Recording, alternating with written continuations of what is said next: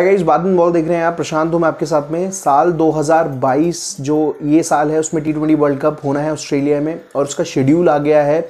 जो पहला मुकाबला है वो 16 अक्टूबर को खेला जाएगा। वहीं फाइनल मुकाबला 13 नवंबर 2022 को खेला जाएगा। 16 अक्टूबर 2022 से शुरू होगा टी ट्वेंटी वर्ल्ड कप और 13 नवंबर 2022 तक चलेगा। भारत और पाकिस्तान का जो मैच है, उसको लेकर भी बहुत बड़ी अपडेट है और ये मैच होगा एमसीजी में और तारीख होगी 23 अक्टूबर जब भारतीय टीम पाकिस्तान की टीम से भिड़ेगी। वहीं भारतीय टीम का एक और मैच होगा, वो ग्रुप ए के रनर अप से होगा।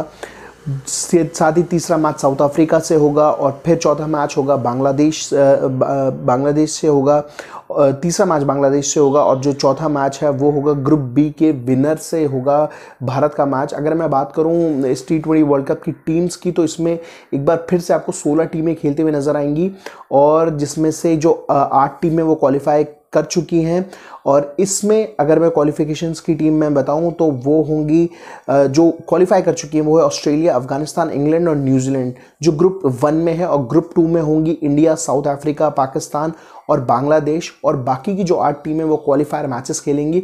और उनमें से बाकी की टीमें जो होंगी, वो चार निकल कर सामने आएँगी, जो सुपर बारह के मुकाबले आपको खेलती हुई दिखाई देंगी। इस साल जो, माफ़ कीजिए 2021 में जो टी ट्वेंटी वर्ल्ड कप हुआ था, उसको ऑस्ट्रेलिया ने जीता था और भारत और पाकिस्तान का मैच दुबई में खेला गया था, जिसमें भारत को हार का सामना करना पड़ा था दस विकटों से।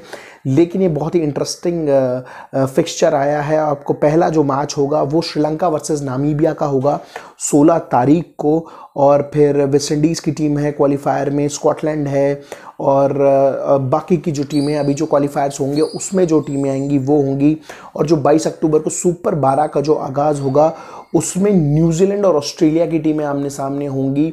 तो 2022 का जो टी वर्ल्ड कप है, वो 16 अक्टूबर से शुरू होगा और 13 नवंबर 2022 को इसका फाइनल खेला जाएगा एमसीजी के मैदान पे। और पहला जो सेमीफाइनल है वो 9 नवंबर को होगा, दूसरा सेमीफाइनल 10 नवंबर को होगा, और तीसरा जो फाइनल मैच मुकाबला होगा वो 13 नवंबर को होगा।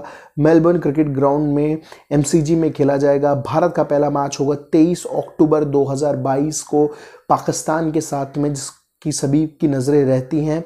तो कुल 16 टीमें हैं। पहले जो आठ टीमें हैं, वो क्वालिफायर खेलेंगी, उसमें से चार टीमें आएँगी।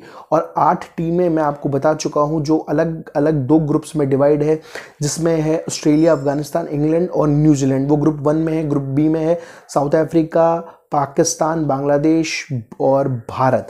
यानी कि भारत का मैच होगा साउथ अफ्रीका से पाकिस्तान से बांग्लादेश से और जो अलग अलग दो ग्रुप से टीमें आएँगी, उनसे भारतीय टीम का मैच होना है।